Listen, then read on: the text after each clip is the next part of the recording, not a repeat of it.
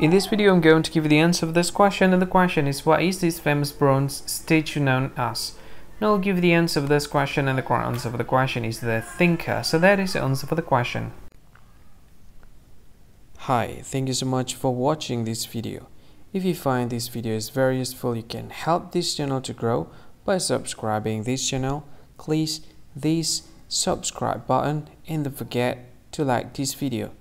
And if you find this video is not really good or you don't really like this video or you kind of feel that it's a little bit offensive or something like that, you can click this one, dislike button. You can do that anyway.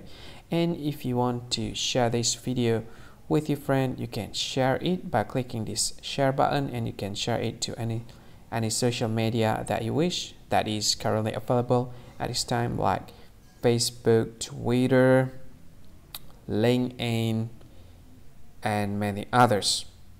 Right? And if you want to add this video to your playlist, you can click this one. You can watch this video later and you can find more options by clicking these three dots. And yeah, don't forget to subscribe. I think that's all of it. Thank you so much for watching this video and see you again in another video. Bye bye.